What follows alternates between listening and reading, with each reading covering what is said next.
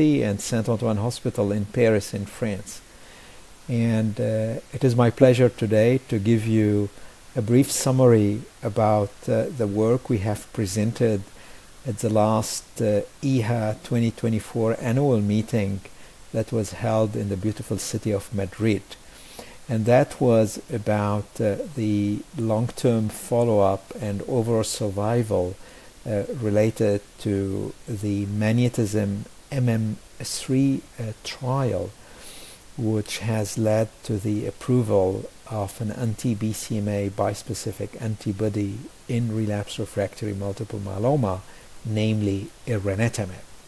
As you probably know, we are very fortunate uh, today to have at least two bispecific T-cell engagers uh, directed against BCMA being approved and widely used.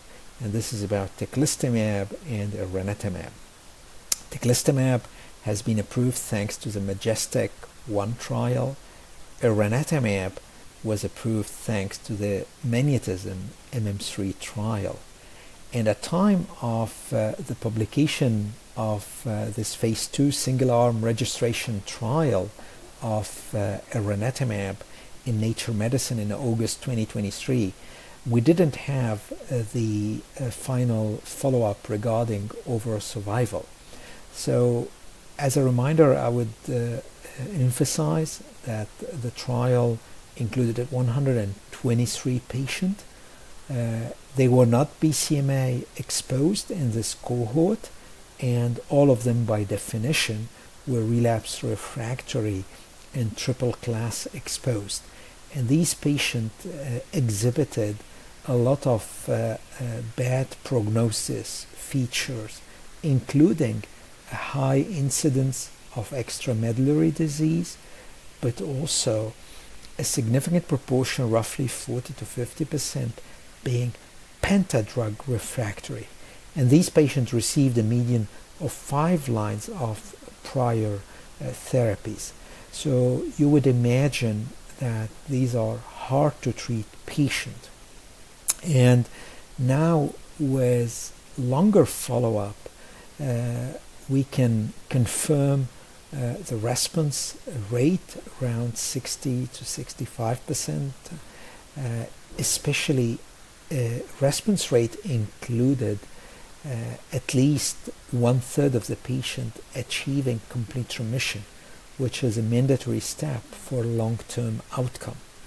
The median progression-free survival was around 17 months, almost one year and a half, which is also uh, a very uh, good uh, number, I would say. And now we have a median overall survival of more than two years, actually 24 point something months. So these results uh, are really attractive because they really uh, confirm uh, the robustness of elranatamab as a BCMA directed uh, bispecific uh, antibody. And uh, this is bringing a lot of hope. And actually these bispecific antibodies are represent uh, uh, an amazing salvage treatment now to many patients and we're really fortunate having at least two already available, teclistamab and elranatamab.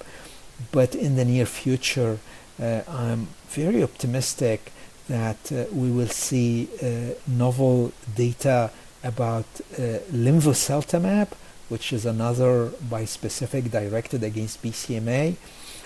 We have seen also uh, some great data, and it's already approved about talquetamab, which is directed against GPRC5D.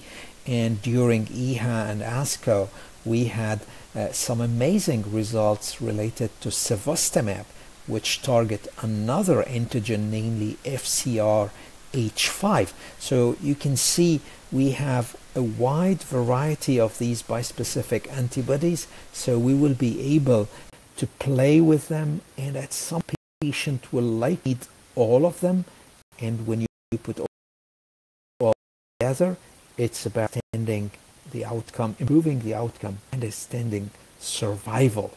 And this is really uh, beautiful and a very, very positive about the development bispecific antibodies, but also immune therapies in general, including, of course, the uh, CAR T cells.